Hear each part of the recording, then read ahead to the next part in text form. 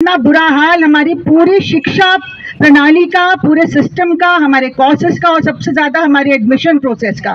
सी का एकदम जो हमारे ऊपर जो इम्पैक्ट था, जो हम पहले से हमको मालूम ही था कि कमर्शलाइजेशन ये जो कोचिंग मार्चा चलाएगी और जो दबे हुए तबके हैं, वो तो पूरी तरह से बाहर हो जाएँगे। महिलाएँ भी बड़ी तरह से बाहर हुई हैं। हम लोगों ने आंकड़े जो बार बार कई अखबारों में भी आए हैं और यूनिवर्सिटी ने कोई भी इसके ऊपर तवज्जो नहीं दिया कि महिलाओं का जो परसेंटेज था प्रोपोर्शन था, वो एक तिहाई गिर गया।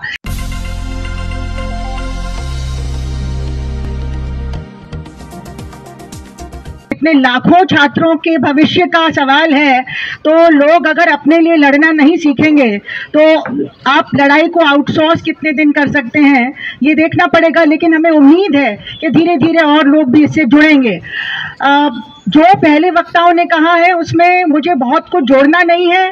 मैं दिल्ली यूनिवर्सिटी में मैंने बयालीस साल पढ़ाया और इतना बुरा हाल हमारी पूरी शिक्षा प्रणाली का, पूरे सिस्टम का, हमारे कोर्सेज का और सबसे ज़्यादा हमारे एडमिशन प्रोसेस का।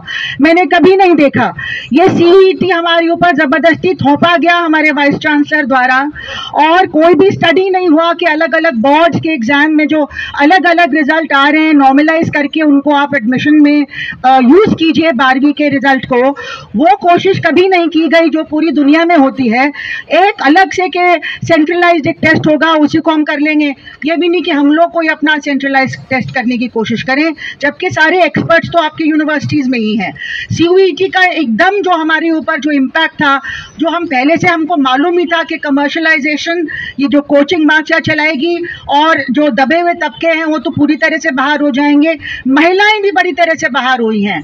हम लोगों ने आंकड़े जो बार बार आ, कई अखबारों में भी आए हैं और यूनिवर्सिटी ने कोई भी इसके ऊपर तवज्जो नहीं दिया कि महिलाओं का जो परसेंटेज था प्रोपोर्शन था वो एक तिहाई गिर गया, पहले ही साल में। तो ऐसा क्यों हो रहा है?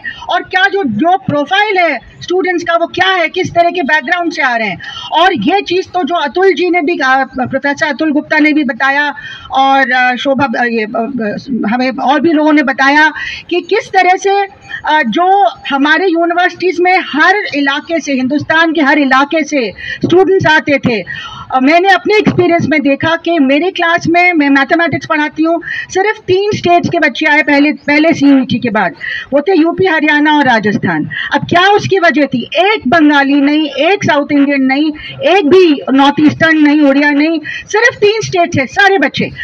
जब क्रिश्चियन कम्युनिटी से हमारे पचास परसेंट क्रिश्चियंस होते हैं तो हमने सोचा, चलिए अब डाइवर्सिटी आएगी।